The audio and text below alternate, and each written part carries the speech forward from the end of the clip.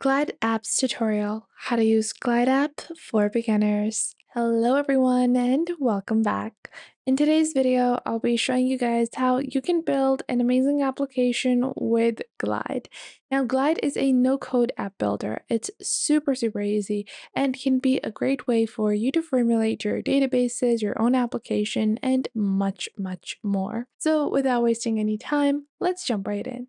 Now over here, you're just going to head on over to glideapps.com and you can click on Open Glide on the top right. Now once you click on Open Glide, this will open up a new tab and in your new tab, you can proceed with building your first application.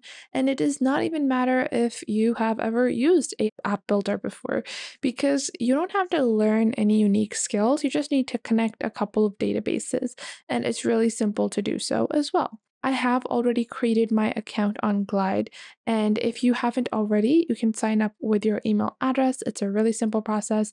Just input your email address, and that is it. Now, from here, you're going to click on New App, and you have three options. You can either create a basic app, create an AI generated app, or create a blank app from where you can really customize it. So for beginners, I recommend either the basic or the AI generated ones. And with the data, in terms of data, you can import your files, connect a Google Sheet, or use some of the other tools that you can link. So I want to build a AI generated application. So I'm going to select AI generated and then click on create app. From that, you're going to provide a description of what you want to create. So you will see this will even provide you with certain prompts as to what type of applications you can create. I want to create actually something like this where it's inventory management for my clothing store. So I want to create a inventory management system for my online clothing store like this. And then I'm just going to click on generate app. Now, you might say, hey, isn't this going to be a bit inconvenient? How do you get the data for that? Well, you can connect your online tool. You can import these CSV files. You can also link them to an Excel sheet or a Google sheet and then link that over here to ensure that there is a smooth and seamless integration of all of your data with Glide. So whenever you just open up your phone, you can look at Glide instead of having to go into your own, you know, e-commerce store or retail manager or having to contact your support system or your support team to manage your inventory. You can easily do it at a glance with Glide. So I'm going to wait a couple of seconds for this application to be generated.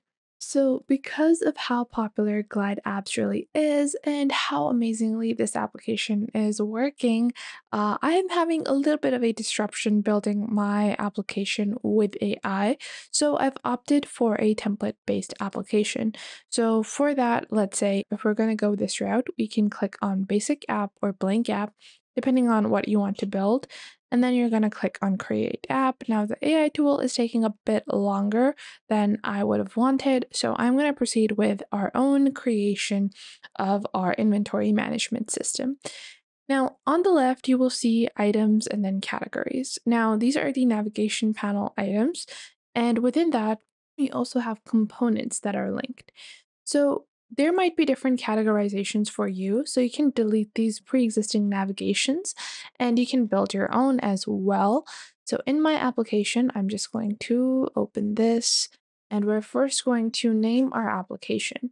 So let's say that this is my yellow merch application. So I can click on the top right, yellow app and then we're going to build our own navigation. So from here, we also have some sample screens, including things like project management applications, dashboards, company directories, multi-step forms, and chat applications.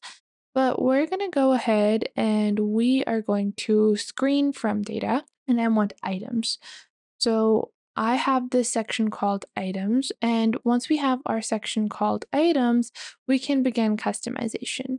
On the right, it will show you a source, and the source is the item source. I'm going to be adding a list of all of my products under items. I'm going to rename this into products as well, and you will see you have a particular icon that you can use to display that. Below that, you can choose a style. So if you want cards, if you want lists, tables, data grids, Kanbans, calendar views, or checklists. I want this to be a list format. Below that, we have the item data.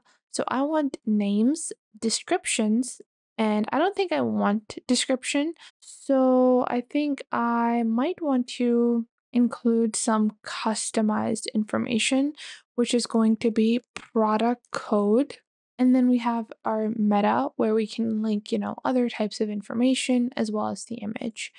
Below that, we have actions. So if we want to allow users to add items, allow users to edit them or delete them. Once you have completed the general options for your products, you can go on to the right side and then start adding different options. So you can set conditions for when a tab should be visible based upon the profile data of the user. So you might not want all of your employees to be able to edit, um, you know, certain elements. So you can set up customized visibility. Now, once we've done that, we're going to go into components on the left. And once we go into components on the left, you guys can see that this is driven or the data is driven from this particular section over here. So over here, you're going to click on data on the bottom left, and you will see the data down below. These are just some example items that it is going to add, and you can customize this data on your own. You can add a CSV file to do so as well, and you can upload your own, you know, your own files. And if you want to know how you can import your files, simply go on to your designated store builder or your e-commerce builder. Most people are using Shopify, so I'll just take this as an example. Go into products on the top right and you're going to click on export and you can save this as a CSV file. Click on export products over here and four of your products will be exported. Now what you can do is click on edit collection. You have your collection design, the number of items, paid size, image styles, and more. And then once you have your items ready, you can go on ahead, click on settings, and then you're going to go into data and you can just remove the sample data like so. And then you're going to open up your CSV file like so. I'll just open this up over here and I'm just waiting for this to be opened up and I can just copy all of the information that is present within and then I'm going to paste that in and it will be added. So you guys can see my liquid lipstick, all of the items are added. Now I can add a column on the right side, which is going to be inventory. And then I can also add some the type of data field this is going to be. So this is going to be a text or a number based data field. And with that, this is going to provide a number of how much inventory do we have. And we have the units, which is going to be product, but I don't need a unit for this. So we just have inventory over here. And now we have a simple application ready.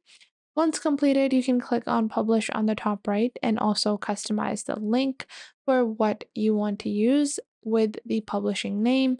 I'm just using the default one. You have to just use one that is available. You can customize it. And now from here, you can copy the app link and invite other users as well as use it yourself. I hope you guys enjoyed this video. And if you're looking to get started with Glide, for an individual, it's free, which allows you to create one published app with two editors, no updates, and 10 personal users can be added. You also have the Maker version where you can create an app for your idea or community. This allows you to connect data sources from Google Sheets and other applications. You also have over 500 updates, one application, two editors, and unlimited personal users that can use your application. And you also have additional features like custom CSS, domains and branding, third party integrations, and triggering webhooks. I hope you guys enjoyed this. If you did, make sure to leave a like and subscribe to our YouTube channel. And if you have any questions or queries, leave those in the comment box down below. I would love to know what you guys have to say.